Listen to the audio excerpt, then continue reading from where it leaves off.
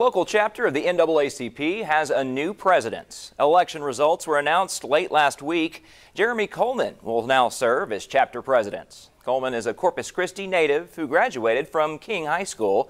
He says one of his main goals as president is to keep a close eye on membership involvement, making sure members are well connected.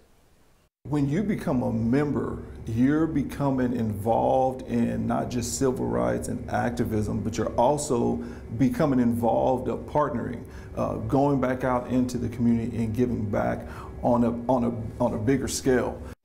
Coleman also says that he wants to get college students and even younger people involved in his organization.